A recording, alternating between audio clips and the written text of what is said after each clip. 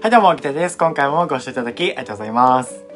はい、今日はですね、ずっとやりたかったことがあって、僕が8年間で集めたウィッグがあるんですけど、すべて今日はご紹介したくて、ずっとね、この企画やりたくて、今日やっとできるからすごく嬉しく思います。つい最近またね、新しくウィッグたくさんたくさん購入してるので、ちょっとね、歯止めが効かなくなっちゃうので、あの、いいタイミングでやろうと思って、今日この場で今現在ある数を紹介しようと思います。で、並べて数を数えてみたんですけど、こちらですね。合計で21個あります。いや冷静にさ、21個ってすごくない？すごいよね。で、最近ちょっとね、ウィッグ捨てたんですよ、実は。あの、量が多すぎたので、5個ぐらい捨てたんですけど、まあ、それ合わせるとだから26個あるので、全部違う形なわけじゃないですか。すごい髪型いっぱいあるよね。26種類もさ、髪型できるって考えたらすごいさ、楽しいよね、ウィッグって。はい。では今日はね、淡々とウィッグをコロコロコロコロ変えていこうと思うので、ぜひ楽しんで見てもらえたらなと思います。今日早速やっていきましょう。スタート。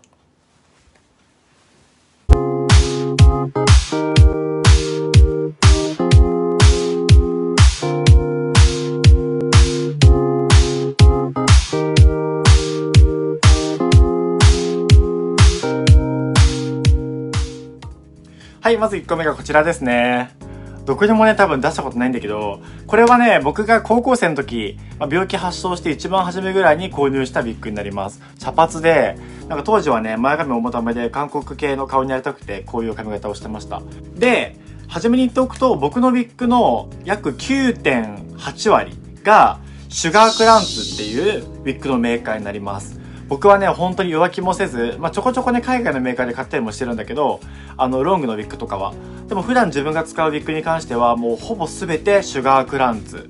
っていうウィッグのサイトになります。もうずっと愛用してて、本当にね、シュガークランツさんのウィッグは、毛がね、本当にナチュラルで、マジでね、ヘアセットしたら全然バレない。ウィッグって。ってぐらい本当にナチュラルで、普段使いにはすごくいいです。で、値段も本当に安い。コスパがマジでいいのもすごく好きなポイントですね。はい、こんな感じですね。茶髪のウィッグでした。次行きましょ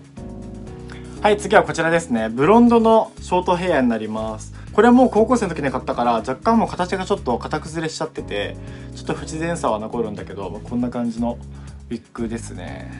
これもね、ちょっと韓国アイドルに憧れて当時購入しました。ブロンドになりたくて。はい。まあ似合ってるか似合ってないかはちょっと、あの、内緒でお願いします。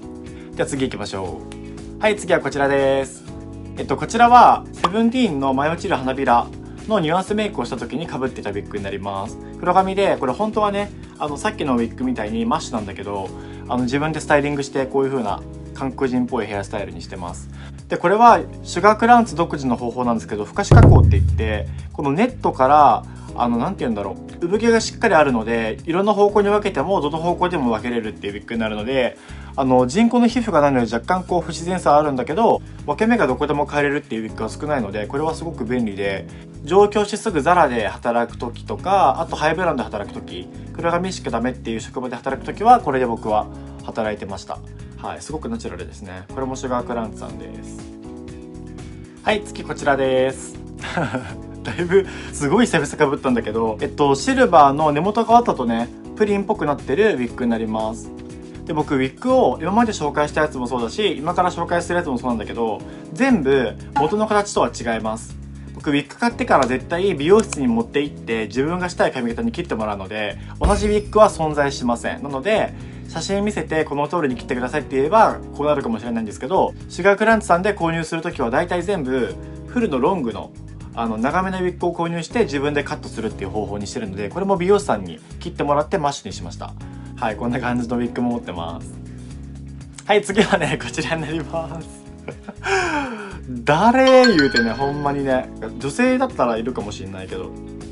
これはね帽子と合わせたりとかあとこうアイロンでストレートに伸ばしてあのウィッグカット持っていったらいい感じかなと思って僕オレンジのウィッグ持ってなかったからちょうどいいかなと思って購入したんだけど未だに日の目を見ないウィッグなんですけどこういうウィッグを持ってます。これ帽子かぶったらねまだいい感じなんだよ。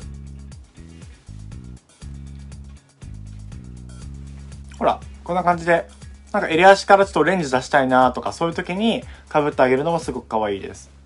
うん色が欲しい時にねいい感じに使えますこれは帽子かぶったら可愛いっしょはい、次こちらですね。これ多分一番ね、皆さん馴染みがあるんじゃないかなと思います。まあ、黒髪センター分けですね。これももちろんシュガークランさんのもので、元はね、こんぐらいのすごい長いロングでした。それを美容室でまた切ってもらって、こういう風な髪型にしてもらいました。で、これはね、特殊で、あの、フロントレースっていうウィッグのタイプになるので、ここがレースになってるんですよ。ここまで。なので、レースに直接毛が植えてあるので、なんか本当に自分の頭皮みたいに見えるっていうのが特徴ですね。だから、センター分けとか、あの、生え際が見えるスタイルの時は、こういうウィッグは本当にナチュラルに被れるので、ウィッグってバレたことあんまりないですね。これ被ってる時は。うん、でもやっぱりセンター分け、いいよね。センター分けがやっぱいいのかなはい、こんな感じです。はい、次はね、こちらです。なんかすっごい前髪になんか変な片付いてるんだけど。これもねすごい久々かぶったから前に多分型がついちゃってるんだけど。当時これめっちゃ気に入ってました。色がねすごい可愛いベビーピンクでこれももともとはロングのものを自分でこうやってショートカットに切りました。後ろもねこんな感じで。でこれ本当はねこうでこれも不可視加工っていうウィッグになるのでどこでも分け目が変えられるウィッグになります。だからこういう感じでちょっと前髪重ためなヘアスタイルもできるしさっきみたいにちゃんとセットすればセンター分けてこう綺麗に分けたりもこんな感じでできます。これもね根元がもともと黒くなってるからすごい色もナチュラルでこんなカラーのウィッグなかなか見ないでしょだからこの色もすごい気に入ってて当時すごい使ってましたね。多分ね広島のスピンズで働いてる時はこのピンクの率が高かったから多分スピンズ時代の人たちは多分ピンクヘア見るとおお懐かしいと思ってくれるかもしれないですね。これすごい気に入ってました昔。やっぱりさてか前髪ない方がいいよね。思わん？前髪ない方が絶対似合う気がするんだけど。はいこんな感じですね。まだまだありますからね。はい次ねこれかぶったんだけどこれねめちゃくちゃ前のやつで形がねもうやばすぎ。結構ねウィッグって型崩れひどいのでずっと使ってると形が崩れてきちゃうんですよ。だからこれ結構ねもうやばいですね。これはもう捨てますボツ。はい、次はね、こちらです。ここから若干ね、長さが若干長めになってきます。これは、気づく人いるかな？そう、これはね、移動風メイクで使ったウィッグになります。自分で初めてこう長いウィッグから自分でカットしたんだけど、もう案外ね、いい感じになってる気がします。まあ、セットでごまかしてる感はあるんだけど、このぐらいの長さがね、個人的にすごい好きで、この形すごい好きなんだよね。これもね、不可視加工っていうウィッグなので、ここがね、生え際は結構不自然なんですよ。だから、センター分けとか分けちゃうと、すんごいもうウィッグ感バリバリ出るから、あんまりこれもね、普段使いはできなくて、帽子かぶったりとかするときは使えるけどって感じですね。だからまあ動画内とかだったら使えるけど、プライベートは使わないウィッグになります。この長さ的にはすごく個人的には好きです。うん。はい、こんな感じですね。はい、次こちらですね。これもね、当分被ってないから型崩れがやばいんだけど、結構ハイライトガンガン入ってる感じのウィッグで、これもシュガークランツさんですね。ちょっとね、ウィッグによってはカットするとこうやってね、ピーンって跳ねちゃうウィッグがあるんですよ。毛の質によって。で、このウィッグはちょっとね、カット向けじゃなくて、ここにね、つむじがあって、で、こっから普通に前髪があるタイプだから、これセンター分けとかはね、あんまりできないウィッグなんだけど、ちょっとこれはね、カット向けじゃなかったので、あんまりかぶってないんですけど、まあ、帽子かぶったりとかする時に使うかなって感じですね。はい。はい次はねこちらになります。これはね多分一番初めて買ったフロントレースのウィッグなんだけどこれもシュガークランツさんで初めてシュガークランツさんのフロントレースのウィッグ買った時にねめちゃくちゃ感動したの覚えてますね。こんな自然なんだ背景はと思って。これも結構ね昔かぶってました。最近あんまかぶってないけど。あんまりねこの長さで外をねうろつくことなくてっていうのもね風が吹いたらこれすぐ終わるんですよ。あの外でこれかぶってるとマジでほんと一瞬で風でこんなこんな感じになっちゃうんですよ。不自然さがもう凄まじいのであんまり外にはかぶっていかないですけど個人的にすごく好きで多分ね動画内では何回もかぶってるウィッグですね。このハロウィンメイクだったりとかあとこの前やった自分で理想の彼女になるっていうあのちょっとカオスなちょっとヤバめな動画の時もこれ一瞬かぶってたんだけどこうやってね束ねたりしたら女の子のウィッグもできるからこうやって使ったりとかいろいろこれは使えますね。やっぱりね生え際自然だからフロントレースのウィッグ僕すごく好きでこれは結構ね使ってます。はい次こちらですね。これもね結構見覚えある人は多いと思います。動画でも何回も登場してて僕が、えっと、今お世話になっている野良ヘアサロンの小杉さんって方に僕ウィッグをお願いしてるんだけど僕だけ特別にウィッグのカットをお願いしてるんだけど小杉さんがすごくウルフが得意で僕ウルフカットすごくしたかったんだけどまずウィッグでウルフカットってできないんじゃないかっていうのがすごくあってでももう本当に小杉さんマジ素晴らしいカット技術で革命を起こしてくれたんですよ。ウィッグとウルフカットってすごく相性が良くてすごいいい感じに決まるなってことに気づいたんだけど、まあ、今これストレートにしてるからあんまりウルフ感ないんだけどこれすごくねちゃんと巻いてあげるとこんな感じでめちゃくちゃ可愛くスタイリングできるウィッグですね。で色がブルーアッシュの色ですんごい可愛い絶妙な色なんですよね。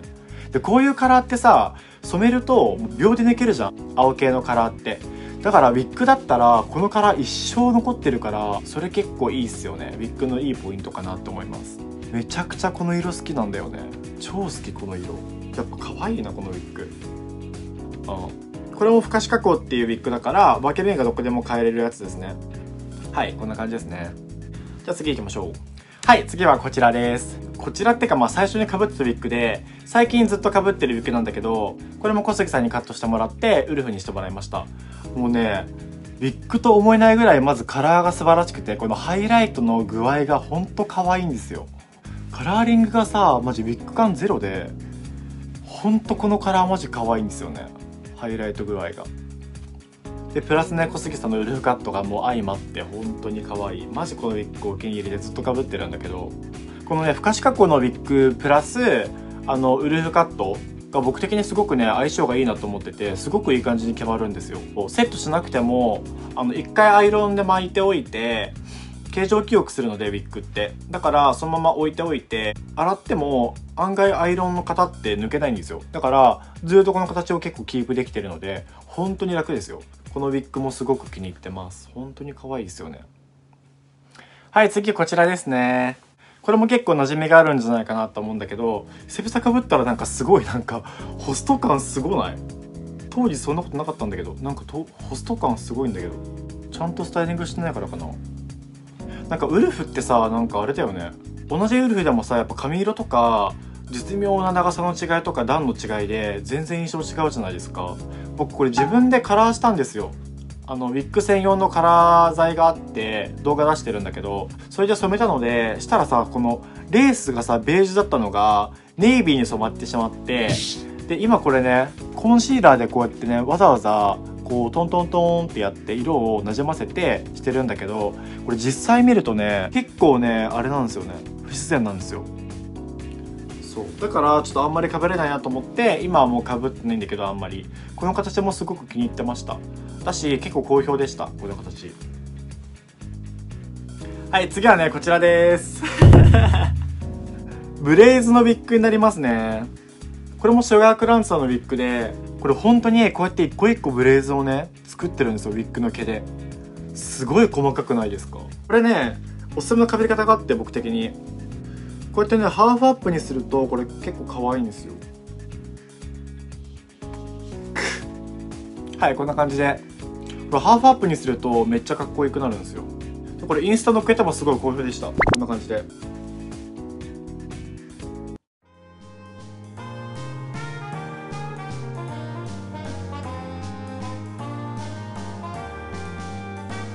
あすいません。はいここからはねこういう女性向けっていうかウィッグのカットも全くされてないそのままの状態のウィッグをご紹介していこうと思うんだけど、まあ、基本的に僕が女装する時とか 女装っていうところがあるな。女装シリーズの YouTube 撮る時とかあとは TikTok で女装する時とかそういう時に使うウィッグをご紹介しようと思うんだけどこれはねまだどこも出したことなくてこれもシュガークランツさんの新作なんですけど根元がねまたプリンになっててこれまた不可視加工っていうウィッグになるので分け目はどこでも変えることができます。でこれのねすごいところが表面はプラチナブロンドじゃないですか。これインナーがねほらパープル入ってるんですよ。インナーカラーがちょっと入ってるウィッグもすごい珍しくてなんか細かいカラーリングの可愛さがシュガークランスターあるのでだからね僕8年間ずっと愛用してるんですよね。本当にねウィッグの醍醐味っていろんなカラー楽しめるところじゃないですか。おしゃれを楽しみたい方にはねシュガークランツ本当にいいんですよ。全然案件とかじゃないからね。こんな感じで斜めに分け目描いてもすごく可愛いです。はい次こちらですね。このぐらい長いです。で今までのウィッグも基本的にこんぐらいの長さを僕自分でカットしに行ってるので基本的にはこのぐらいの長さで全部ウィッグは届きます。でこれはねシュガークランチじゃなくて海外のウィッグのサイトで購入したんだけど写真がね超いい感じだったのに届いたらねこれ。もう生え際の自然さどこ。マジでほんまに。これはねほんと失敗したし生え際があまりにも不自然すぎて全然かぶってないですね。なんかそれこそ TikTok 用とかなんかエルフのコスプレとかする時用って感じにしてますね。はい次これですね。わかる？このクオリティの低さ。これさドンキで購入したやつなんだけど普通になんかドンキで1000円2000円ぐらいで売ってるウィッグを購入したんだけどまずさこのなんか生え際の揃え方も変だしあとここのスムジもねもうありえないぐらい不自然だしでこれはあのジュライオンナ風メイクの時に使ったウィッグですね。これもコスプレメイクとか TikTok 用ですね。はい。普段使いは全くしないです。まあ使わないけど普通に考えて。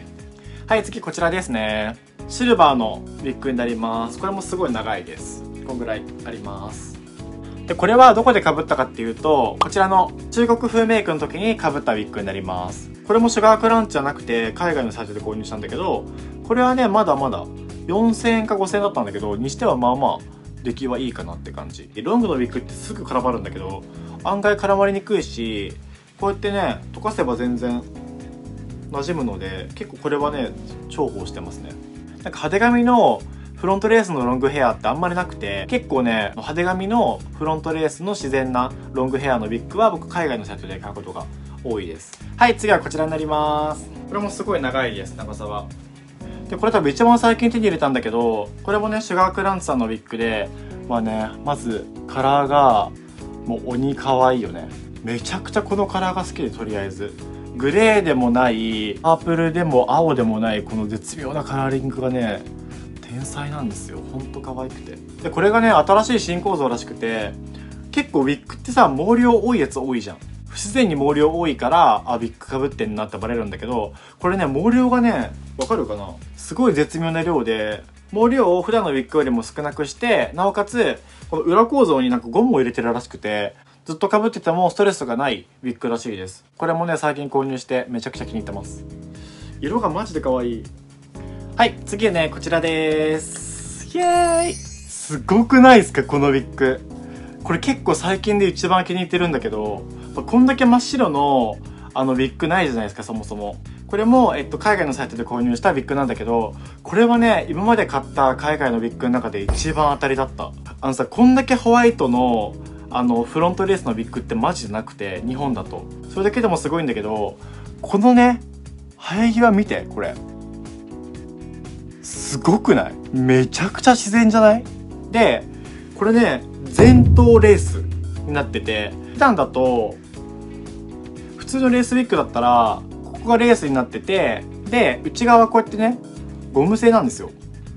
このウィッグは、だから、こっから、もう後ろに至るまで全部総レースになってるから、もう本当に皮膚と変わんないぐらいのレベル。マジで頭皮から毛が生えてるように見えるウィッグで、これ本当にね、革命だなと思った。過去僕が8年間で買ったウィッグの中で一番自然ですね。ウィッグのサイト気になるでしょしたら、サイトがマジでわかんなくて、インスタの広告で出てくるウィッグのサイトがあるんだけど、それで僕パッて買ったんですよ。海外のサイトで。だから、深夜のさ、ちょっとしたこう思いつきで買ったから、サイトが全然わかんなくて、僕も今実際ね、自分で血眼になって探してるんだけど、マジでわかんなくて、サイトはね、申し訳ないです。本当にわかんないです。なんかマルフォイの家庭にいそうしない？はい。ではね、長々と紹介したんですけど、最後の1個紹介していきます。はい。最後のウィッグはこちらになります。イエーイこれはね、多分ね、最近動画では一番出てるんじゃないかなって思うんですけど、TikTok のブラックピンクの変身メイクでも使ったし、理想の彼女に変身する動画でも使ったし、あとカイリー・ジェンナー風メイクの時も使いました。これもね、安定にシュガークランチさんで、やっぱね、カラーリングが天才なんですよね、本当に。ピンクとパープルが混ざってて、マジで可愛くて。このね、こめかみの部分もすごく自然で、日本でこういうウィッグなかなかないから、本当に素晴らしいと思います、このウィッグ。もちろんフロントレースで、ここもしっかりと自然に仕上がってます。はい、てな感じでね、もう長々と計21個ご紹介したんですけど、もう本当に僕のコレクションたくさんあるでしょう。まあ、初めてこんな全部一気に被るってことをしてみたんだけど、すごいね、量えぐいし、動画長くなっちゃって本当申し訳ないんですけど、まあ、なかなかない動画になったんじゃないかなって思うので、楽しんでもらえたらすごく嬉しかったです。やっぱりウィッグって被り方がちゃんとあって、普通に被るとどうしてもウィッグ感出るんだけど、ウィッグを自然に見せる簡単なコツっていうのがあるので、それを今度動画で詳しくご紹介しようと思ってるので、そちらもぜひ見てもらえたらなっていうふうに思います。では長々と本当に最後まで見てくださってありがとうございました。参考になった、楽しかったよと思った方は、グッドボタン、高評価、チャンネル登録、通知もぜひぜひお願いいたします。あと概要欄の方から、インスタグラム、ツイッター、TikTok のフォローもぜひぜひお願いいたします。僕のこれまでのビッグのヒストリーがたくさん載ってるので、インスタグラムぜひぜひフォローしてください。お願いします。では、最後までご視聴いただき、本当にありがとうございました。また次回の動画でお会いしましょう。ギテでした。バイバーイ。